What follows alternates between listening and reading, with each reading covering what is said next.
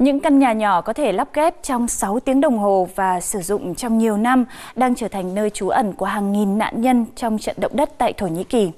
5.000 căn nhà trú ẩn do một tổ chức phi lợi nhuận của Thụy Điển chuyển đến những địa phương bị thiệt hại nặng nhất sau động đất.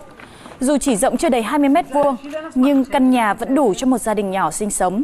Đặc biệt là căn nhà chịu được nhiệt độ từ âm 20 độ C đến 50 độ C, phù hợp với chênh lệch nhiệt độ ngày đêm rất lớn tại Thổ Nhĩ Kỳ và Syria.